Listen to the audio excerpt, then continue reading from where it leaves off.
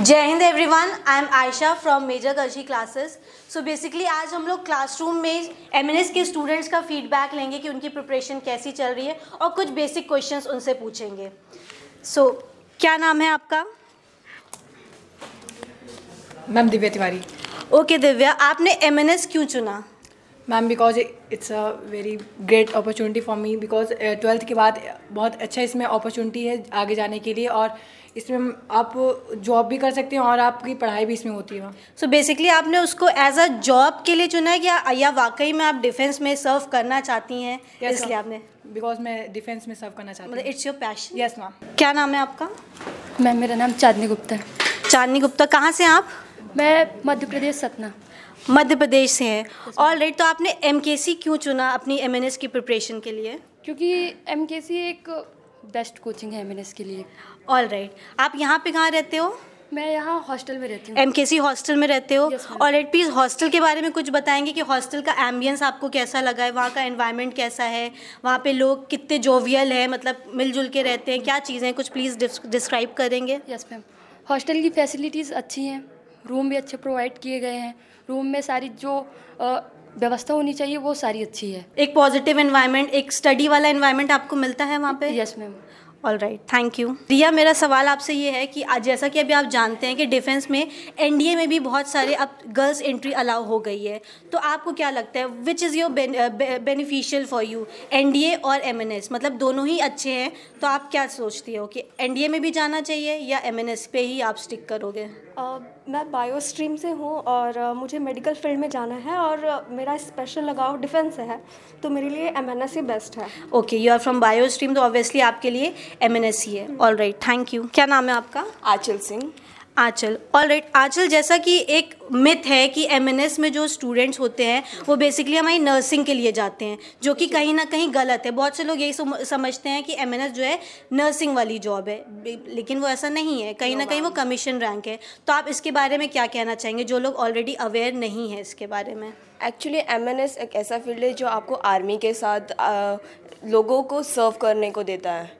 मतलब as a girl हमारा हमेशा से ड्रीम होता है कि हम आ, कुछ हटके करें। तो एम एन एस ऐसा नहीं है कि आप गर्ल हैं तो आप एम एन एस में जाएँ और that's not a thing so basically it's a myth कि हाँ लोग Yeah. सोचते हैं कि आप आर्मी में या डिफेंस Yeah. में सर्व नहीं कर सकते हैं but M N S is a perfect platform opportunity all right thank sir English की तैयारी यहाँ पे कैसे चलती है? एम एन एस का क्या सिलेबस है इंग्लिश में?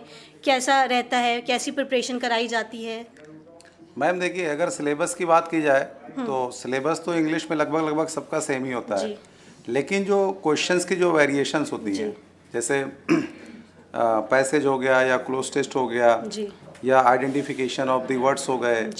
स्पॉटिंग एरर्स हो गए फिल इन द ब्लैंक्स हो गए सेंटेंस इम्प्रूवमेंट हो गए सिनोनिम्स हो गए एंटोनिम्स हो गए वन वर्ड हो गया आइडियम्स फ्रेज हो गया। तो उसी हिसाब से हम लोग इनको लेके चलते हैं। जनरली इसमें दिक्कत क्या आती है? जैसे बच्चे बच्चों ने कहा कि भाई ये बायो बैकग्राउंड के हैं और इंटर तक ही ये इंग्लिश होती है इनकी। जी। इंटर के बाद कहीं ना कहीं इंग्लिश से इनका जो है रिश्ता वो टूट जाता है। तो फिर इनको जब यहाँ आते हैं तो सिंपली हम लोग ये देखते हैं कि इनका बेसिक कैसे हम इम्प्रूव करें। सर जैसे बहुत सारे स्टूडेंट्स हो गए जो इंग्लिश बैकग्राउंड के नहीं होते हैं। तो उनको हम लोग कैसे बूस्टअप करते हैं या उनकी प्रिपरेशन में हम कैसे हेल्पफुल होते हैं उनके लिए? उनके लिए देखिए एक तो पॉइंट ये है कि जैसे उनको ये समझाया जाता है कि बेटा इंग्लिश में इंटरेस्ट लाइए। जी। इंग्लिश में इंटरेस्ट लाना बहुत ज़रूरी है। अगर आपका बैकग्राउंड नहीं रहा है और इंटरेस्ट लाने के लिए कुछ ना कुछ रीड किया जाए जैसे कोई भी मटेरियल हो बेसिकली इंग्लिश से बहुत भागते हैं लोग हाँ बहुत तो अगर आप इंटरेस्ट नहीं बनाएँगे इनको डेली इस बात के लिए मोटिवेट किया जाता है कि at least you have to read ये कहा जा सकता है कि इन्वायरमेंट क्रिएट करके हम इनको इनके बेसिक को उभार सकते हैं। और ये इनके ऊपर है कि भाई ये कितना ये हॉस्टल में रहते हैं डेली बताया जाता है जैसे ये रोज आप at least NR N R आप इंग्लिश को ज़रूर दो। जैसे कुछ बच्चे बोल बोल लेते हैं तो उनके साथ रहिए। एक इन्वायरमेंट क्रिएट करिए यहाँ पे आपको कोई देखने वाला नहीं है को बेसिकली सर का यही कहना है कि in order to improve your communication skills आपको ऐसे लोगों के साथ रहना बहुत ज़रूरी है जहाँ पे आप बेसिक कॉन्वर्सेशन करो। अगर इंग्लिश में आपने बेसिक कॉन्वर्सेशन भी करना सीख सीख लिया तो कहीं ना कहीं इंटरव्यू में आप जो भी क्वेश्चन आपके पूछे जाएँगे उसमें आप आराम से इंग्लिश में कॉन्वर्सेशन कर सकते हो। वही सर समझा रहे हैं। Sir sir and what about extra classes extra classes उनको कैसे दी जाती हैं? देखिए मैम जैसा कि जब ये बैच शुरू हुआ था तो उस वक्त इनकी क्लासेस जो होती थी वो शायद तीन घंटे की होती थी। जी।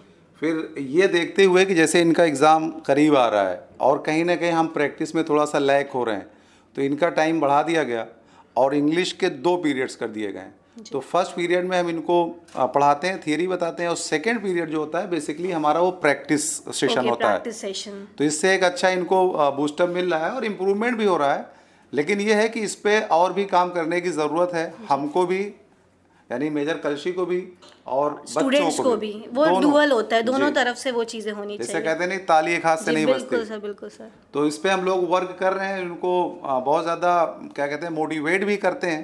आ, समय समय पर कि जहाँ ये लोग पीछे हो रहे हैं उनको आगे किया जाए। So this is the feedback of our MNS students who are preparing for MNS exam और कहीं ना कहीं हमें पता है कि डिफेंस में भी हम लोग को गर्ल्स की जो है वो एंट्री जो है वो करनी है कमीशन रैंक पे right so basically we have to aware people जो स्टूडेंट्स है, जो गर्ल्स एंट्रेंस है, जिनको एमएनएस के बारे में नहीं पता है, या जिनको ऐसा लगता है कि एमएनएस सिर्फ़ नर्सिंग वाला है तो उनको भी हमें कहीं ना कहीं जो है वो अवेयर करना है कि that yes this is a good platform for the girls students और प्रिपरेशन के लिए भी आपको एम जो है वो best study material best classroom सारी चीज़ें बेस्ट प्रोवाइड करेगा। All right so thank you students for giving such good feedback and all the best for your coming examinations जय हिंद जय Hind all the best thank you